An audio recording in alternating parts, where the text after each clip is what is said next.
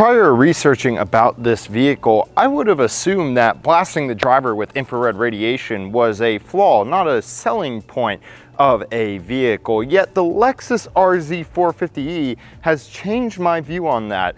It is good to be blasted with radiation from your vehicle. We're gonna talk about that and more. Guys, I'm Jake, you're watching Gas Guzzlers, and this is the 2023 Lexus RZ 450e. Let's get into it. Let's talk about the exterior of the RZ 450e. You'll notice the iconic Lexus spindle grille is gone. It has been replaced with what Lexus is calling a spindle body.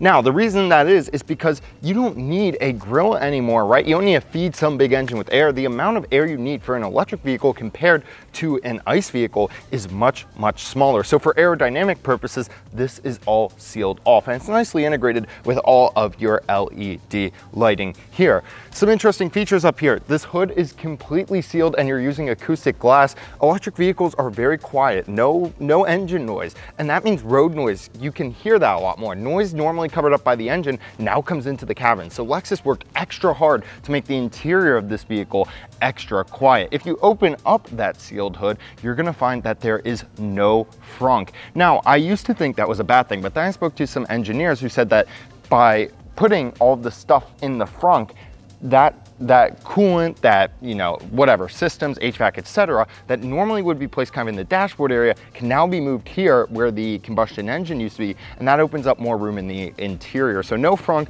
I actually quite like a frunk because I like to throw my smelly exercise gear, whether I'm running, skiing, etc., in a drainable kind of separate locked area.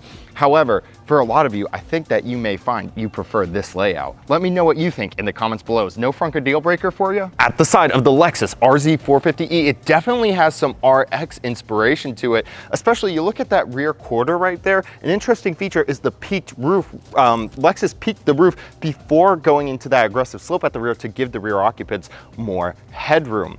These rims were quite interesting to me. Normally electric rims kind of are ugly, look like dinner plates, are all covered up because they're trying to reduce aerodynamic drag and turbulence, which spokes like that can create. Um, having that turbulence is going to decrease the range of the vehicle. So it's interesting that Lexus kind of went for some interesting traditional looking rims here. It's pretty rare to see on electric vehicles. One thing not too rare to see on electric vehicles is an electronic door latch. This is not a physical handle. It is a button that operates an electronic switch. Now, automakers are doing this because it's actually a safety feature. By implementing this, they can lock the doors from the inside so you can't open it. And the reason that's useful is if the vehicle detects that someone is coming through your blind spot, it can prevent you from getting out. And that means that you won't open the door and get hit by the car coming behind you. So that is a great safety feature. Anytime you're not getting killed, that's a safety feature that we really like to see.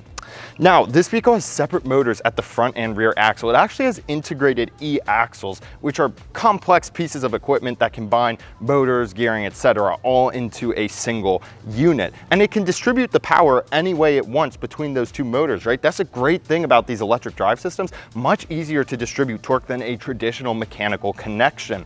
So it can send all of the power to the front or rear. It usually is operating in a 60-40 or 40-60 configuration. But for example, if you're turning the wheel, the car can send more power to the front wheels if you're making a turn to get more grip there. Or if it notices that you're exiting a corner, it's gonna send more power to the rear wheels to improve the overall performance. At the rear of the electric Lexus RZ450e, we of course have a power tailgate. But before we open that, I do wanna show you, I really like these spikes coming off the back. Kind of gives me Batman vibes. Let me know what you think of the looks of this vehicle in the comments below. Now, let's open up the tailgate and of course power opening as you would expect to see. Looking in the rear here, no official word yet on trunk size, but looks to be large enough. You got a little cubby here. You can store some cables in. It's actually pretty deep, maybe about my forearm's length. Um, and then you have a shoulder button that you can use to push down that second row, nice and easy. I would like to see maybe a few more power outlets or something back here before the full kind of production run. But other than that, I don't think anyone's gonna have an issue with this cargo space.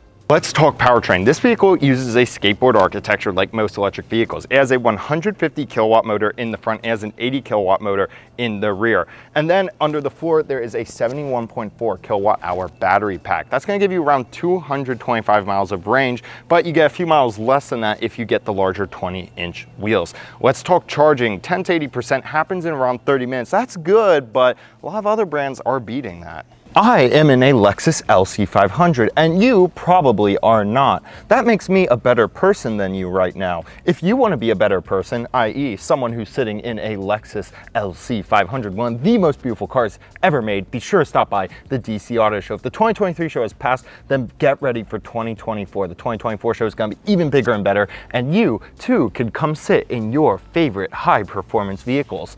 Also everyone, if you're liking the video, be sure to like and subscribe for more weekly automotive content All right, folks, let's get back into it after I pretend I'm a race car driver for a little bit.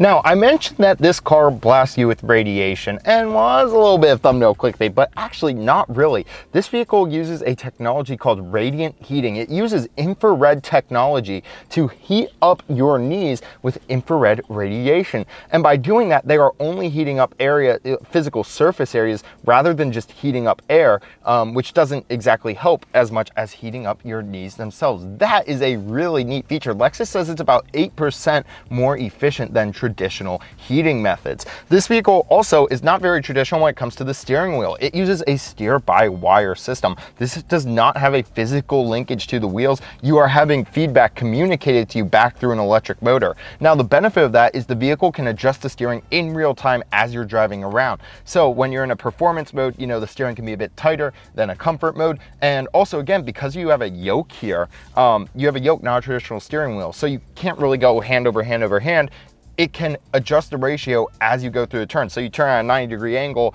those last 10 degrees can make a much tighter turn than the first 10 degrees of your turn in the steering wheel. Real neat feature there. The cockpit is all angled towards the driver, very driver-centric vehicle here. I'm excited to check out this new Lexus infotainment system when we get our hands on some Lexus later this year. Of course, you have all the features you'd expect, wireless charging, cup holders with fancy nubs here, and Let's see, one of my favorite features of Lexus's is the fact that you can open the center console from either side. Probably a lot easier to just hinge it from the back, but this is a lot cooler. In the rear of the Lexus RZ450, we have heated outboard seats and the middle passenger isn't going to be too unhappy because they don't have too big of a hump in the middle of the floor like many cars do because this is an electric vehicle. No drive shafts or transmission or anything like that down there. Now, here you have your two cup holders with nubs in the pull-out armrest and you have a nice synthetic material covering the interior of this vehicle. A lot of electric vehicles stray away from leather because they're concerned about the environmental impact. Other nice features, air vents, I mentioned the heated outboard seats. You have two USB-A-C ports down here and a full-size power outlet. Additionally, you have this big giant glass roof. Those always help to light up the interiors. I'm also just starting to notice these seats, I think, are actually going to be pretty comfy if you sit in them for a long time. Hopefully we get to take one of these out for a long test drive later this year, so make sure you're subscribed for that. Let's talk advanced safety features. The Lexus RZ 450e is going to come with Lexus Safety System Plus 3.0. That's going to include a whole array of features, some of which include dynamic radar cruise control, lane trace assist, lane keep assist, and of course you have features like your blind spot monitor. This vehicle also comes with advanced park assist, so it'll help park itself. Lots of advanced driver assist technologies on this vehicle. After this walk around, I'm really interested to see where Lexus takes this RZ 450e. It is a real neat vehicle. I really like the interior of it and I think the exterior styling is pretty unique. So definitely be sure to come check it out at the DC Auto Show. If the 2023 show has passed, get ready for 2024, folks. It's gonna be a great show. Thanks so much for watching. If you liked the video, be sure to like and subscribe. We'll see you in next week's video.